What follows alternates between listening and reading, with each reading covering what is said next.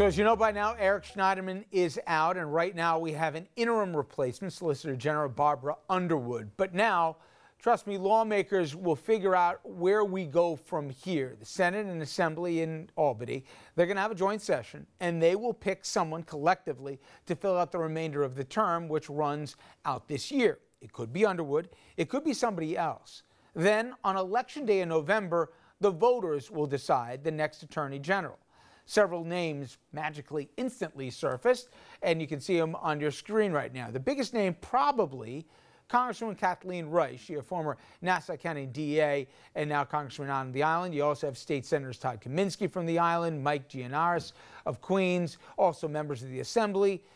Uh, Helene Weinstein from Queens, uh, Joe Lentol of Brooklyn, thought to be a placeholder possibly, Jeff Dinowitz from the Bronx, and of course, the name goes on. Politics is also in play here, of course. Many of the people targeted by Schneiderman are now doing a victory lap and not being too subtle.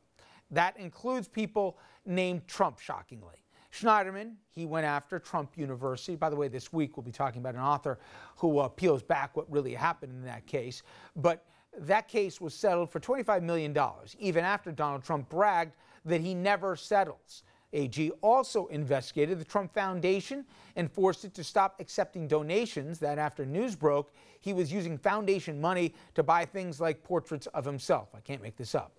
Schneiderman also asked the New York legislature to pass a bill allowing him to file criminal charges against people pardoned by the president. Significant, obviously, in the Mueller probe. Now, Donald Trump Jr. immediately started going after Schneiderman, like father, like son, Donnie trolled him on Twitter. He made fun of the role playing, the eyeliner that Schneiderman reportedly wore, and also all the tweets Schneiderman had sent about the rule of law, protecting women, and also going after his dear old dad.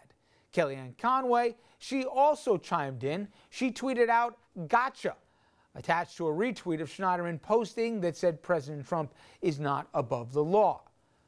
Hey, I get it. There's a comeuppance, and certainly Schneiderman had it coming, but I seem to have a hard time remembering Conway speaking out after all the accusations were made about her boss, or after Donald Trump admitted that he liked to grope women and forcibly kiss them.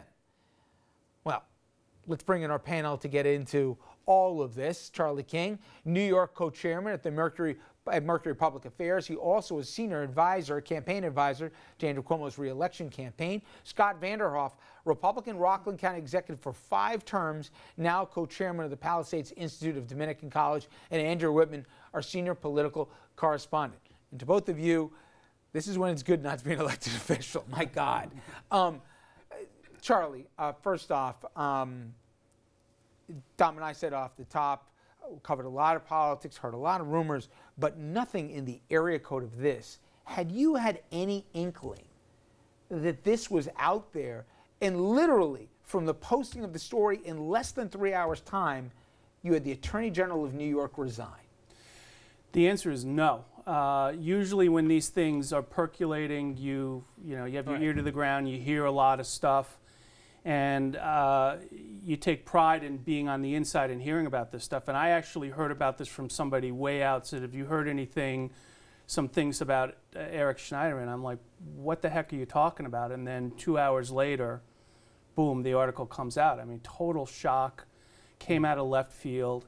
And going back to the point about any inkling about this about uh, Eric Schneiderman, I we grew up in the Democratic Party together on on the Upper West Side, and no inkling of, of this at all. I mean, just a pure shocker right. as to the physicality and all of that. So. And, and, I encourage people to read the article for yourselves. It's very well sourced here. There really was no wiggle room um, for there to be deniability, at least plausible at that.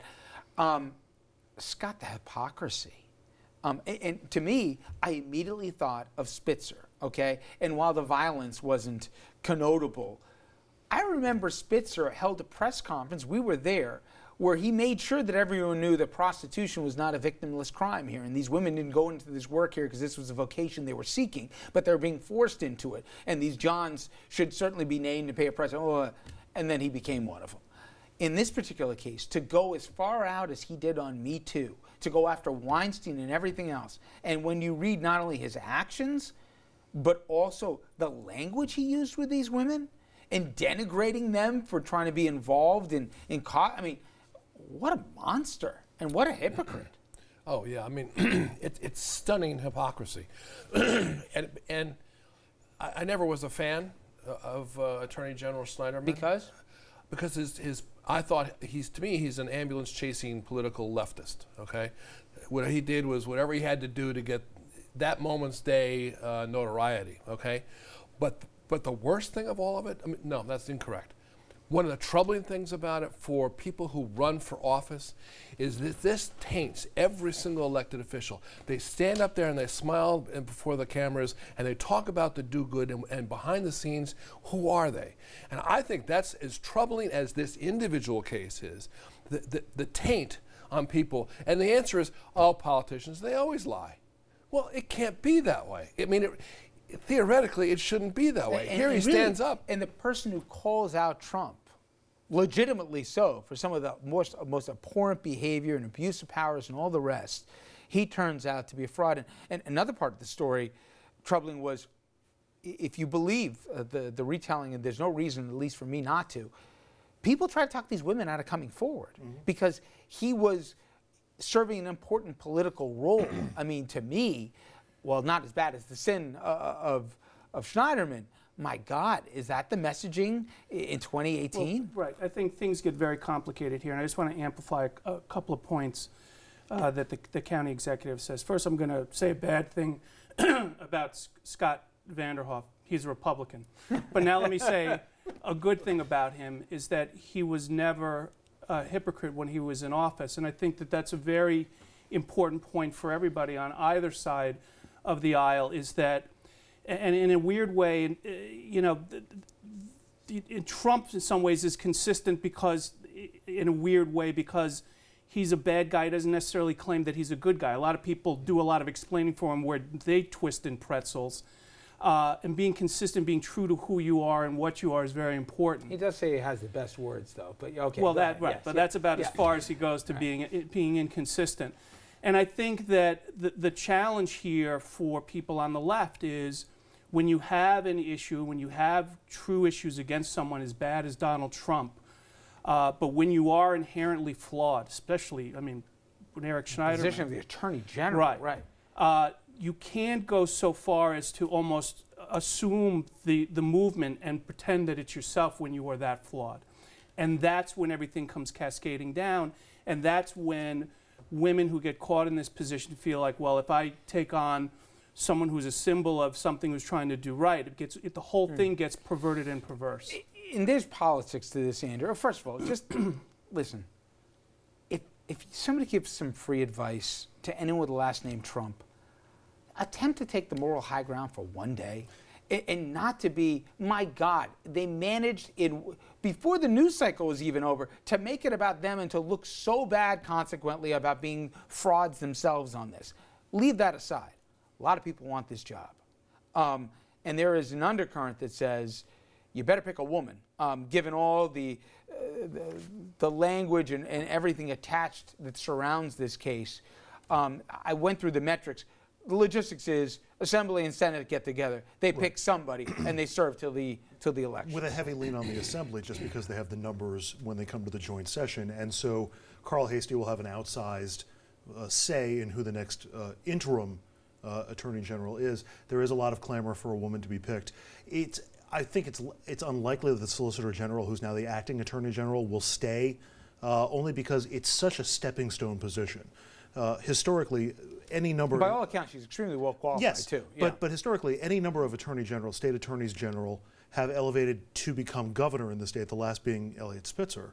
Um, oh, I think it's the best. So just, I think it's the best job in New York politics, even better than the governor. You get to pick the people you want to go after. You get to be a sheriff of Wall Street if you want. You get to pick causes that you want to champion to go after bad guys. I mean, you're right, Andrew. It would make sense for the legislature to name a placeholder, somebody who announced that they would not run for reelection this November, but I, I doubt that's what's going to happen. I think whoever gets picked will so? wind up running as an incumbent for no, the job. No, this is a very, I would defer to Charlie, but this is a very important decision. They want an incumbent in there. They want to put in there a woman if they can, uh, a person of color perhaps, but certainly uh, to, who will run in November because we want to That's have what I'm that. saying, you know- yeah. Oh, is that Well, what you here, Yeah, yeah. here's where the politics gets very interesting, uh, actually. The Republicans might not want uh, an incumbent, and uh, uh, Senator Flanagan, Republican leader, has has stopped this this Senate from coming together, controlled by the Republicans and the Democrats, because you have to have a joint session in order to vote. And the thinking behind that, for those of us who are speculating, is because they don't want to have an incumbent, so that they have a better chance running against a, a non-incumbent. So that's sort of the politics of it. Democrats would like to have an incumbent because then it'd actually have the sense of incumbency. Some of the other candidates that were not on the list, I think there's a sense that having a candidate of color would be a plus. Tish James has been mentioned as somebody. Loretta Lynch is somebody who has been mentioned as well um, uh, on the list as well. Uh, even Alphonso David, who uh, uh, not a woman of color, obviously, but a person of color, openly gay, uh, has been has been mentioned. Um, so it's fascinating how this all works. Uh, and then one other interesting, that this is just the, the Yeah. fascinating, the politics of it. But with Kathleen Rice, there's some thought that she might be able to run as a, as a woman for Congress and still stay a member of Congress because the, the way that the primaries are jiggered, she can still be running for Congress and run for Attorney General. So if she won the primary for Attorney General, then she could pull out. So And- not and- sure and if it just, works um, or If I not. could, two other things to keep in mind here. I mentioned this briefly. The Attorney General in New York will have a role in the Mueller probe, okay, especially depending on how pardons are handed out. Think about that. And when you, we mentioned names uh, like Loretta Lynch. Um, but then also, as this goes into play, the, the logic is to win statewide in today's day and age as a Republican in New York is going to be really hard. So maybe even without the power of the incumbency, the Democrats could have an overwhelming advantage come the fall. But I'm Just sorry. two, two Yeah. points. Uh, Flanagan, John Flanagan has said he's not going to, he will be part of the joint. Uh, uh, um, He uh, finally backed down on. Yeah, at least that's what I've heard. But interestingly enough, to Charlie's other point, the, one of the persons that might be of interest would be Lieutenant uh, Governor Hochul, because he, I think the, I think the governor may want to switch people there. She has name recognition. She's been all around the state, uh, and she has a legal background. Would it be interesting pick? And again, I'm telling you, to me at least, the best plum gig that there is, where you get to basically pick your spots. Cy Vance, by the way, with his own problems with Weinstein, he's also promising a look into this probe. So uh, the moving parts out of this, something to keep an eye on. All right, when we come back, though, we'll turn to politics specifically. Tonight, the midterm election season kicks into high gear today. That is, voters in four states hit the polls. We're going to take a look at the races, the implications, and of course, the Trump factor.